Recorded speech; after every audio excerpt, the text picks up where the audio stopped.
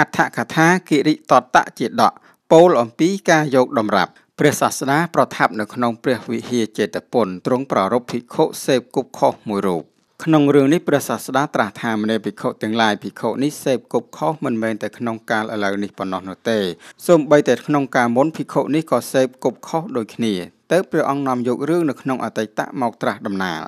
ក្នុងអតីតកាលព្រះរាជាព្រះនាមថាសាមៈ គ្រងរាជសម្បត្តិនៅក្នុងក្រុងព្រះនសីក្នុងសម័យនោះព្រះពោធិសត្វកើតនៅក្នុងត្រកូលអាមាត្យលុះចម្រើនវ័យហើយក៏បានជាអ្នកដែលបង្រៀនអត្តនិងធម៌ចំពោះព្រះរាជា ព្រះរាជាក៏មានសេះមង្គលមួយក្បាលឈ្មោះថាបណ្ឌិវៈអ្នកចិញ្ចឹមសេះរបស់ព្រះអង្គឈ្មោះថាគិរិតតៈគេមានជើងពិការ សើឃើញនាយគិរិតតៈកាន់បង្ហៀដើរទៅខាងមុខសម្គាល់ថាជននេះបង្ហាត់យើងទៅរៀនតាមគេហើយក៏បានคล้ายទៅជាសិស្សដែលមានជើងពិការដូច្នោះបាទដូច្នេះយើងឃើញថា អ្នកចិញ្ចឹមសេះម្នាក់នេះគាត់មានអាជើងខ្ចោដូចថារបៀបដើរទៅបាក់ខ្ញើចបាក់ខ្ញើចដើរអត់សូវស្រួលតំណើដូចគេអញ្ចឹងមើលទៅដូចខ្ញើចខ្ញើចអញ្ចឹងណាហើយសេះវាមើលដំណើរម្ចាស់ដូច្នេះវាក៏ធ្វើតាមយ៉ាងឯងនាយដែលថែរក្សាសេះនោះគាត់ឈ្មោះថាគិរិតតៈទៅក្រាបទូលទៅដល់ភាពពិការរបស់សេះចំពោះព្រះរាជាឲ្យទ្រង់ជ្រាបព្រះរាជាដឹងដូច្នេះហើយក៏បានបញ្ជូននៅពេទ្យឲ្យទៅពិនិត្យមើលអាការៈនៃសេះនោះ ពួកពេទ្យក៏បានទៅពិនិត្យមើលក៏មិនឃើញមានអាការៈរោគនៅក្នុងខ្លួនសេះនោះសោះទៅក៏បានប្រាប់ទៅដល់ព្រះរាជាថាពួកខ្ញុំព្រះអង្គមិនឃើញរោគរបស់សេះនេះទេព្រះអង្គបាទដូច្នេះហើយទៅព្រះរាជាបានបញ្ជូននៅព្រះពោធិសត្វឲ្យទៅមើលអាការៈនៃ របស់សេះនោះចូលឯងទៅមើលហេតុការនៅក្នុងរាងកាយរបស់សេះនោះទៅចោ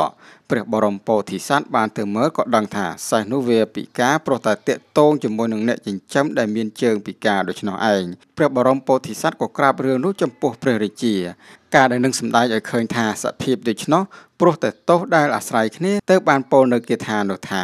សេះឈ្មោះថាបណ្ឌិវៈរបស់ព្រះបាទសាមៈ ត្រូវអ្នកចិញ្ចឹមឈ្មោះថាគិរិតតៈប្រទុសរាយទៅលះប្រក្រដីដើមរបស់ខ្លួនសិក្សាតម្រាប់តាមអ្នកចិញ្ចឹមសេះនោះឯងលំដាប់នោះព្រះរាជាទៅត្រាស់សួរព្រះពោធិសត្វថាឥឡូវនេះនឹងគួរធ្វើដូចម្ដេចដល់សេះនោះ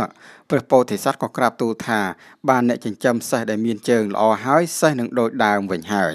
បាទដូច្នេះយើងឃើញថាព្រះរាជាបានណា សួរថាធ្វើម៉េចដើម្បីឲ្យសេះនឹងមានដំណើរល្អដើរបានត្រឹមត្រូវមកវិញអញ្ចឹងណាព្រះបរមពោធិសត្វក៏បានទូលថាតលតែដោអ្នកចិញ្ចឹមសេះថ្មីនោះឯងទៅព្រះអង្គបានពោលនៅគាថានោះថាប្រសិនបើបុរសអ្នកសម្បូរដោយអាការៈដ៏ស្អាតសមគួរដល់សេះនោះគាត់តាក់តែងរាងកាយស្អាតចាប់ដឹកសេះនោះនៅត្រង់បង្ហៀនាំទៅមករឿយរឿយមិនយូរប៉ុន្មានសេះក៏នឹងលះបង់ការខ្ចកនោះចេញ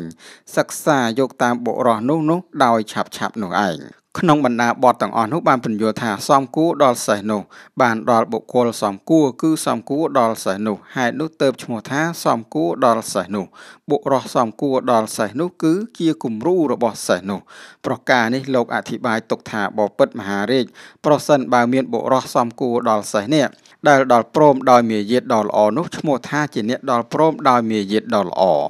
បុរសនោះតបតែងសក់និងពុកមាត់ឲ្យមានអាការៈសង្ហាគឺស្រស់ស្អាត និងគប្បីចាប់ដឹកសេះនោះត្រង់បង្ហៀដើរទៅមកក្នុងបរិវេណរបស់សេះសេះនេះនឹងលះបង់ភាពពិការចេញដោយឆាប់ និងយកតម្រាប់គឺសិក្សាតាមអ្នកចិញ្ចឹមរបស់ខ្លួន គឺនឹងតាំងនៅក្នុងភាពជាប្រក្រតីដោយសម្គាល់ថា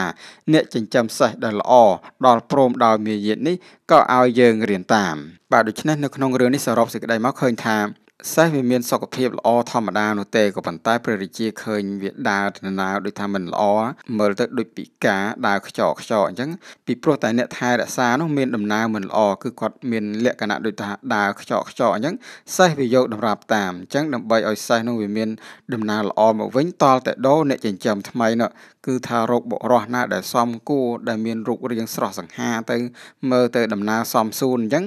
គឺសេះនោះនឹងលះបង់អាការៈអាក្រក់ពីមុនដូរយកនៅអាការៈកាយវិការបែបថ្មីគឺថាលះបង់នៅភាពពិការនោះឯងព្រះរាជាក៏ត្រាស់ឲ្យធ្វើយ៉ាងនោះសេះក៏តាំងនៅក្នុងភាពប្រក្រតីព្រះរាជាទ្រង់ប្រោះប្រានថាលោកម្នាក់នេះដឹងអធិស្ស្រ័យសំបីតែសត្វដេតឆានទៅព្រះរាជា ប្រទានយសដ៏ធំដល់ព្រះបរមពោធិសត្វ ព្រះបរមសាស្តាលុទ្រង់នាំព្រះធម្មទេសនានេះមកហើយទ្រង់បានប្រជុំជាដកថា